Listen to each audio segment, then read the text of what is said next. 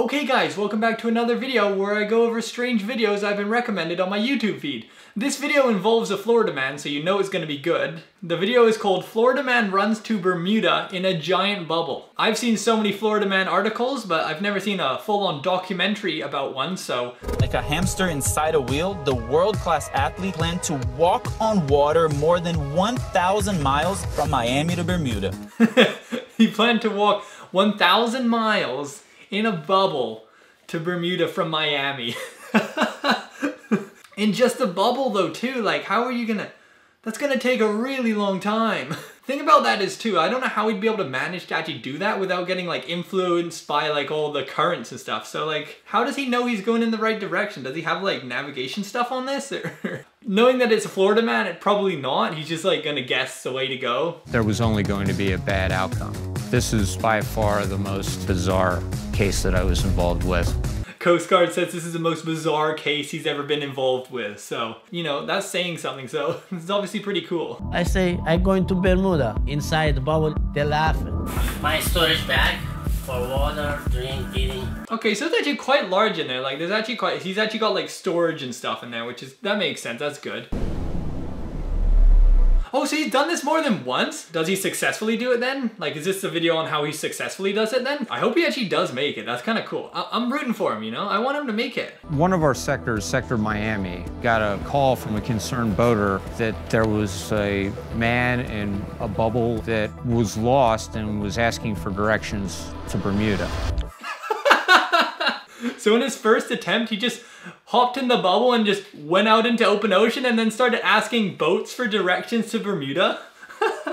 he, he didn't actually know which way he was going then. Imagine you're on a boat and then this guy in a bubble comes up to you and goes, hey, do you know how to get to Bermuda from here?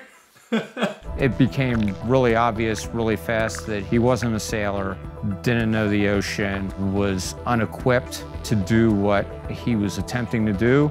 On the first try, he didn't bring any equipment with him doesn't know the ocean, hasn't done any sailing before. He didn't really know anything of, oh my gosh, wow. Sounds like he was super unprepared. I say, why they come close to me? I think you're um, pirate. I say, pirate with bubble. Then come and say, come out. I say, no, I don't want coming out. oh man, this just gets better and better. They thought he was a pirate? We wound up staying with him in the bubble for at least a full day as we tried to hash through what our authorities were. Oh my gosh, they were negotiating with him for a whole day while he was just out in the ocean in his bubble. oh my gosh, this story is so funny. And then a day or two later, a cold front knocked the bubble on his side, so he set off what's called a spot device. He was in need of assistance, and we went out and rescued him. Yeah, I can kind of see why the Coast Guards were like really not wanting him to do it because obviously he was not well prepared and he really shouldn't be doing that. A storm just came, flipped over his bubble, and then he was trapped and they had to go rescue him. So Port of Miami gave him basically a cease and desist order that you're not to get underway in your bubble. If you do, you'll be in violation of Coast Guard regulations. And that seemed to stop him for a while. I hereby order you not to depart because your vessel and conditions under which you are attempting to complete your voyage voyage to Bermuda is unsafe.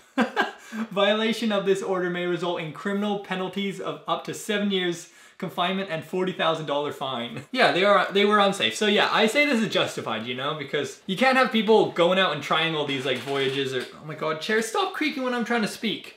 Anyways, you can't, uh, yeah, I guess you can't have people, you know, trying to do all these voyages if they're not going to be prepared and it's unsafe because, you know, it could be pretty dangerous and then the Coast Guards are going to have to get called out to those dangerous situations and then help them. He was discovered playing a voyage, had rebuilt the bubble, and no amount of reasoning or common sense was going to change his mind. so after getting that, he was like, should I stop this? No, no, I'm gonna keep on going. He decides to redesign his bubble, and then he's gonna go out there again. oh my gosh. So I don't have a key open my storage. I almost cut them.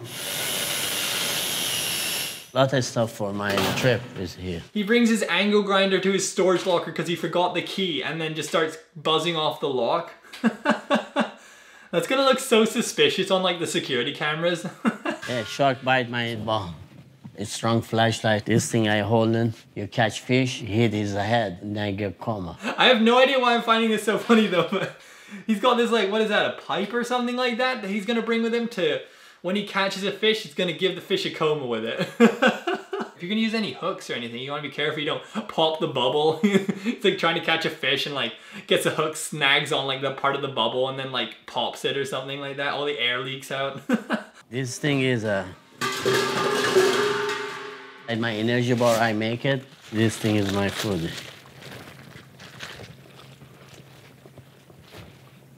Mm, good. Did he, did, he find that in the storage locker? this energy bar I made that I left in the storage locker for like six months. Yeah, this is really good.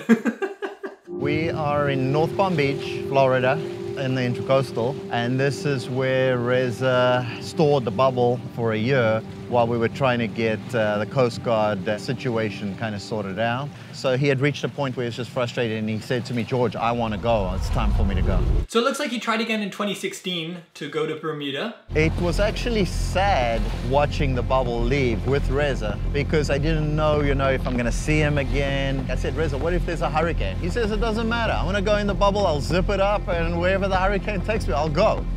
I'll just zip it up, you know, the hurricane will take me out into the middle of the ocean. It's fine, it's all good. He's in his own bubble, I guess. What we could see with his Facebook posts, he was doing this as part of a charity event that he wanted school children to be able to track him and make donations. That's nice he wanted to do it as a charity event. It seems, you know, he's got good intentions behind this. I support this Florida man, you know. It seems like this Florida man, still pretty crazy, but, you know, he's doing, he's a, he's a good Florida man, you know. He's, he's doing good stuff, you know. He's not one of those crazy Florida men that, like, robs a bank with a crocodile or something like that, you know. He's, he's one of those, he's one of those nice Florida mans. Temperatures inside the bubble could get up to 120 degrees. Running in a bubble, sleeping at night, he's going to wind up getting pushed off towards England or in one of the eddies that swirl around in the middle of the Atlantic Ocean forever. You've got a better chance of winning the Powerball lottery than you do of starting in Florida and trying to run to Bermuda. Oh my gosh, you have a better chance of winning the Powerball lottery than making it to Bermuda by a bubble. Wow. I didn't realize it was that difficult. Wow. I was watching the line move up on the GPS tracker, and then all of a sudden I saw it turn to the right, and I knew something was up. Oh wow, that's really far away actually. He has to go a long way. The final time we were called in by a concerned mariner, the patrol boat came up to the bubble. Morning, sir. How you doing? I am very great. Good. How are you doing? Very great. Your voyage has been terminated by the U.S. Coast Guard. It's manifestly unsafe. Make me crazy. I've been five years like do this thing there, stop me every time they save my life. I don't know neither. I have a five, six life. I have a two life jacket. I have a two GPS. I have a laptop to watch movies. it's okay guys, I have a laptop to watch movies. the trouble with that is like when he sleeps, like how is he gonna anchor himself? He's gonna end up getting, you know, moved by the currents and they're gonna take him some other place and that might like ruin all that day's work. His physical condition, we determined it was unsafe for him to continue, Sir, we, we know how this is gonna end. so we removed him from the bubble and sank the bubble as a hazard of navigation. Oh, that's kind of sad. They sank his bubble. Why would they do that? I guess I guess I know why they did it, but did they have to sink it though? That's kind of like bad for the environment as well. But like imagine that you like spent like you said, you spent five years of your life trying to do this thing and then they sink your bubble. Hmm. This is supposed to be a funny story about a guy going to the Bermuda Triangle in a bubble, and now it's turned into a sad story. He's been trying for five years to make this work, and then the Coast Guard say, no, it's unsafe. They pop his bubble. That's so sad. They just shot it down into the ocean, and he had all his backpack supplies, GPS tracker, a lot of the things that he had been working on. That was like over $120,000 of his life that he had put into that bubble.